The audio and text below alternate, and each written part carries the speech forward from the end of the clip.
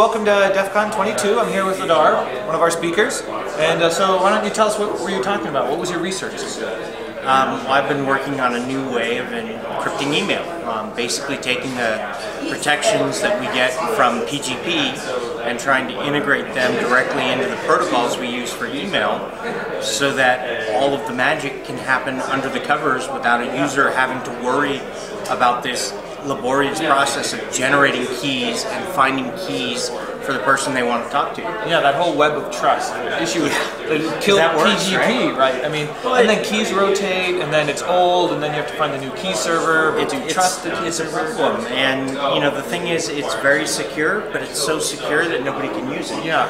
And so you don't think SMIME is really a valid response, or It's- it's- or is that a stopgap? It's an improvement. Um, you know, one of the ways of looking at darkmail is as a hybridization of the best ideas of PGP and the best ideas of SMIME. So one of the good ideas that came with SMIME was this trust anchor.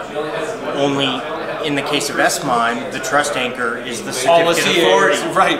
And that's a nightmare right there, as we know. Well, with the dark mail world, the trust anchor is actually controlled by the domain owner with the creation of a validation record in the DNS system. Right. So as long as you trust your DNS or you trust DNS Because we trust DNS, right? Yeah. And if you're using DNSSEC, now you're really only trusting one anchor. Yes, the TLD root. Right. And that was one of my slides.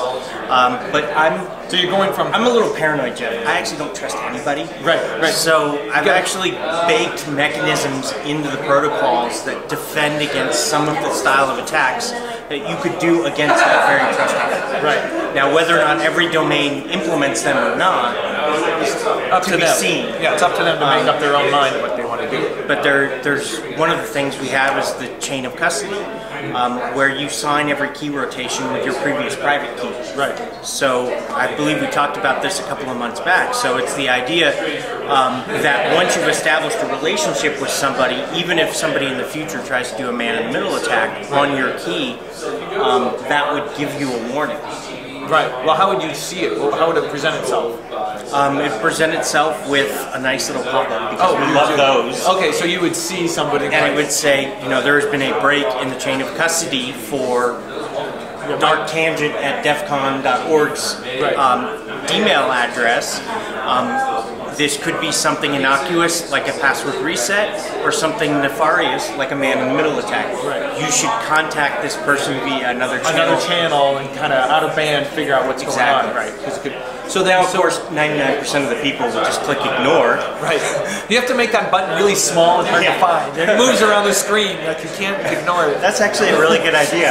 I thought about to be really dedicated to ignore it. I, I'm big on this, putting the stuff I don't want users to do on the left and the stuff I want them to do on the right. So OK's on the right, cancels on the left, uh, and you kind of keep that consistency between the two so you don't accidentally Get used. Yeah. get them mixed up.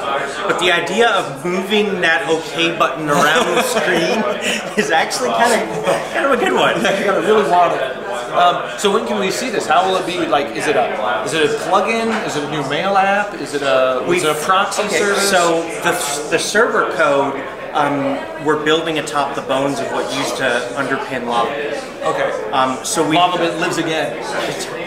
the technology, if not the service. Yeah. Um, so we just started integrating support for the protocol mechanisms into that server code base, and we've also forked the Thunderbird code, Yeah. and we're rebranding it Volcano, and it's going to be our test bed for supporting these kinds of extensions in the client. So if I fast forward like to next DEF CON, what can I expect will be happening by next year? Volcano will be out, erupting. Yes, I'm, I'm hoping it'll even be out in time for chaos. Oh, awesome. you know, at least in some form of, hey, it kind of works most of the time capacity. Yeah, come help us refine it. Well, no, I'm already in the come help us, Oh, please, desperately. Oh, oh, okay, cool. Uh, because we've got a lot of code to write, and it's hard to find good devs. So people watching this, how can they get involved? How can they help you? Are there things they can do to like uh, help you test or help you uh, monitor? Or I'm hoping within the next couple of weeks we'll be able to take the um, the papers, the documentation that we've been working on, and start getting those out on the internet.